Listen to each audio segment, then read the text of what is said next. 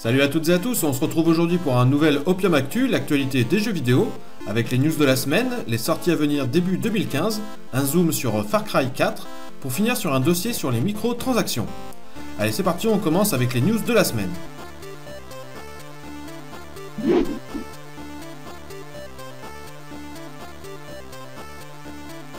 Depuis quelques semaines, le Lizard Squad avait menacé, eh bien ils sont passés à l'action puisque le 25 décembre, le PlayStation Network de Sony et le Xbox Live de Microsoft ont été la cible d'attaques mettant hors service les deux serveurs. En effet, en inondant de roquettes avec des bots, les attaques DDoS ont saturé les serveurs, les faisant planter complètement, mettant en colère beaucoup de joueurs pour les fêtes de Noël. Ils étaient déjà passés à l'action début décembre en faisant planter le Xbox Live, puis le site Machinima, et avaient menacé de nouvelles attaques pour le jour de Noël.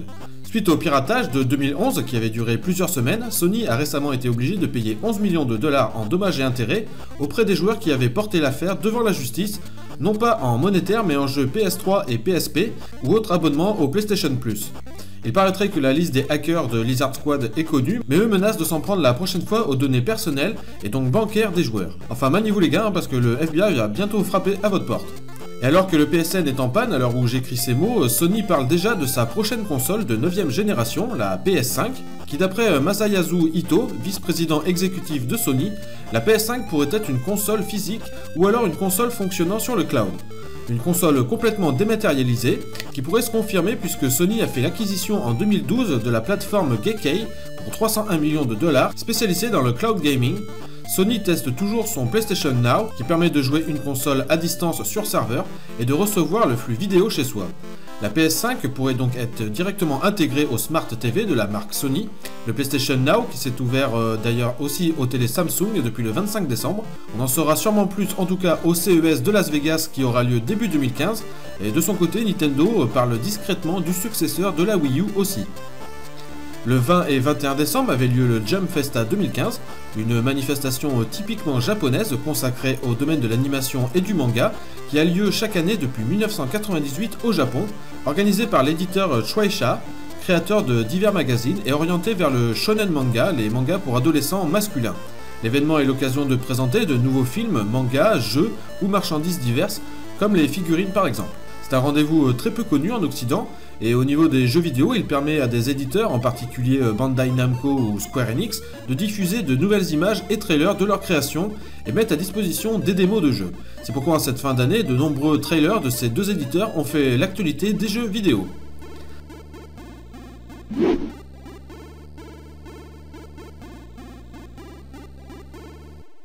Allez, on continue avec les sorties qui auront lieu début 2015.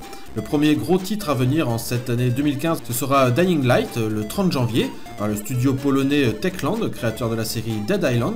En développement depuis 3 ans, prévu comme une suite de Dead Island, puis finalement comme un nouveau jeu à part entière, puis refinalement retardé en raison d'une volonté euh, d'innover pour enfin être annulé sur PS3 et Xbox 360 il y a seulement deux mois.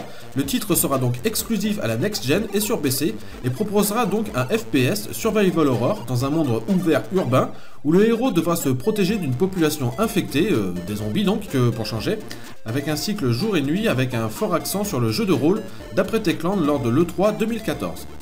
Cité comme un des meilleurs jeux mobiles de 2014, le jeu Out There arrive bientôt sur PC, Mac et Linux dans une version retravaillée. Mélangeant les genres roguelike, aventure et gestion dans une ambiance spatiale, le jeu développé par le studio français Miklo avait déjà dépassé la barre des 250 000 copies sur iOS et Android. Cette Omega édition contiendra pas mal de contenu bonus, des textures HD et des décors animés en 3D. Les possesseurs de la version euh, mobile verront aussi ces ajouts lors d'une grosse mise à jour début 2015. Le 2 janvier, c'était aussi la sortie sur Wii U de Captain Todd Treasure Tracker, un jeu de réflexion plateforme de chez Nintendo, la première aventure solo pour le personnage de Todd inspiré des stages spéciaux de Super Mario 3D World sorti en 2013 sur Wii U. Le joueur devra passer les niveaux en modifiant les perspectives de la caméra et récupérer un maximum de pièces et de gemmes cachées, uniquement jouables en solo. Début 2015, ce sera également la sortie du jeu Ethereum.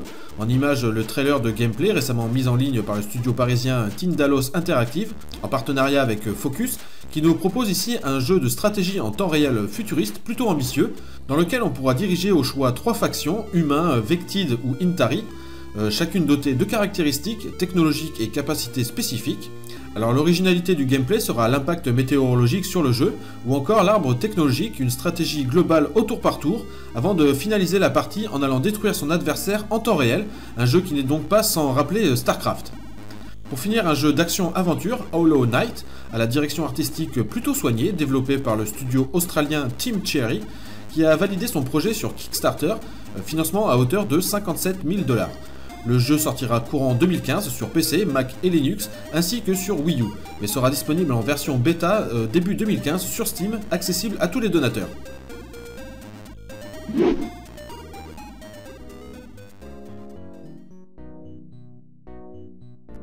Aujourd'hui sur le Zoom, on va s'attarder un petit peu sur le jeu Far Cry 4. Donc en 2014, Ubisoft a sorti trois gros jeux AAA. On s'est d'abord fait euh, Watch Dogisé, hein, comme dirait Benzaï, au mois de mai, avec un jeu pas du tout à la hauteur de ce que les joueurs attendaient. Euh, puis le 13 novembre, c'était la sortie européenne d'Assassin's Creed Unity, un jeu qui a beaucoup déçu de par la multitude de bugs dans le jeu, un jeu mal fini pour une sortie prématurée, beaucoup de patchs correctifs et même des jeux offerts pour éviter d'intenter des procès à Ubisoft qui comptait donc beaucoup sur la sortie de Far Cry 4 la semaine suivante, donc le 18 novembre, sur PS3, PS4, Xbox 360, Xbox One et PC. Cette fois, on peut dire objectivement que le jeu est une réussite. Hein. Nous allons voir ensemble les points forts et les points faibles de ce nouvel épisode de la série Far Cry. Donc l'histoire se passe dans une région fictive de Kirat, dans l'Himalaya. On y incarne AJ Gale, revenu sur sa terre d'origine, pour disperser les cendres de sa mère. Rapidement, on se retrouve plongé au cœur d'une guerre civile entre les rebelles du Sentier d'Or et un tyran nommé Paganmin. Alors pour beaucoup, il s'agirait d'un Far Cry 3.5, hein, car il s'inspire grandement de son prédécesseur sorti deux ans plus tôt. Alors il est vrai que le gameplay reste quasi le même, malgré quelques innovations, mais demeure quand même un goût de déjà vu. Pour découvrir une zone, on doit donc s'emparer d'une tour radio, puis nettoyer quelques postes avancés. S'ensuit des missions secondaires plutôt agréables dans un univers à euh, monde ouvert euh, montagneux très bien réalisé, d'excellents graphismes, des décors bluffants, malgré un côté assez répétitif dans chacune des zones, un peu aussi à l'image du, du gameplay qui est immersif mais répétitif. En suivant le scénario, indispensable hein, pour finir le jeu, comportant 4 fins, dont 2 alternatives, le jeu reste très beau visuellement avec de nouvelles armes, la possibilité de chasser et de dépecer les animaux pour se faire de jolis petits portefeuilles en peau de rhinocéros, le gyrocoptère, survoler des zones en wingsuit, grimper sur des éléphants, des combats en arène, des missions dans des zones enneigées, encore une fois très réaliste, grâce au moteur de jeu Dunia Engine conçu par Ubisoft et utilisé sur la licence depuis Far Cry numéro 2, donc un moteur un peu vieillissant. A savoir aussi euh, qu'entre chaque épisode, il se passait 4 ans, 2004, 2008, 2012. Ce Far Cry 4 est sorti seulement 2 ans après Far Cry 3. Alors est-ce qu'on peut y voir une sortie euh, trop prématurée pour un jeu qui aurait mérité plus de finition? Difficile à dire en voyant le contenu, hein, car en effet la carte est assez immense et les missions euh, très nombreuses. Le jeu propose également un mode coop, la possibilité de parcourir le jeu avec un ami, ou un mode compétitif avec des affrontements à 5 contre 5, ainsi qu'un éditeur de cartes plutôt bien réalisé. Alors pour résumer, Far Cry 4 est un très bon jeu dans la droite lignée de Far Cry numéro 3, malgré le manque d'innovation du gameplay qui reste très bon, malgré une certaine répétitivité sur quelques missions. Les décors, les effets de lumière et la végétation dans ce Kirat montagneux sont très beaux. Si vous aimez les FPS alternant euh, un petit peu la filtration et la discrétion et le bourrinage, ce jeu pourrait vous convenir. Enfin, vous pouvez aussi attendre les soldes, hein, puisque l'autre jour, Far Cry 3 était quand même à seulement 5 euros, donc euh, difficile de résister. En tout cas, une version démo est aussi disponible depuis le 25 décembre sur le PlayStation Network.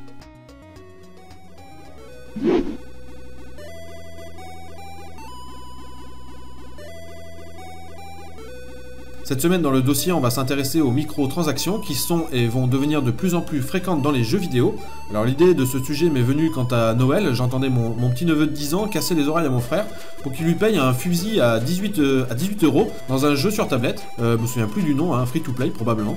Alors je me suis dit que cette envie, euh, cette espèce de besoin qu'avait mon petit neveu n'aurait jamais eu lieu quand j'avais moi 10 ans en 1989. Déjà parce qu'on pouvait pas s'acheter du contenu additionnel pour quelques euros à cette époque et que cela nous aurait paru complètement de payer juste pour un fusil, une armure, ou simplement débloquer un niveau de jeu, ou euh, toute autre boutille euh, insignifiante et injustifiée dans la bouche d'un enfant de 10 ans qui ne pense qu'à acheter des conneries au lieu de, travailler à l'école.